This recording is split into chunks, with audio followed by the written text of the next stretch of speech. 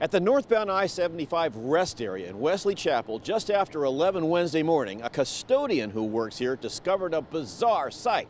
He called 911. Oh, they're on the northbound side of the building, all three of them, standing in the nude, putting on suntan lotion.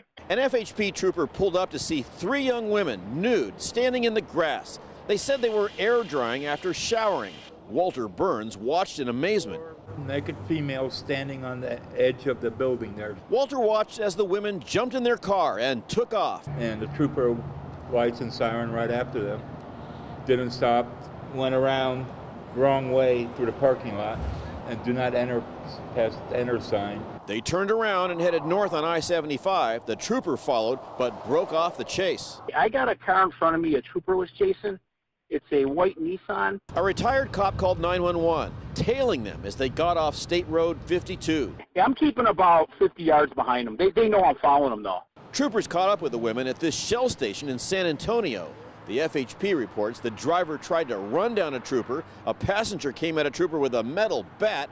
Another trooper rammed their car. They sped off again towards Dade City. Near Pasco High, a Dade City cop used stop sticks to deflate their tires. Then an FHP trooper rammed their car and tasered all three. And it all started with a midday shower at a rest stop. People with no clothes standing around, it's kind of unusual. The women, ages 18 and 19, are facing a slew of charges. In Wesley Chapel, Peter Bernard, News Channel 8.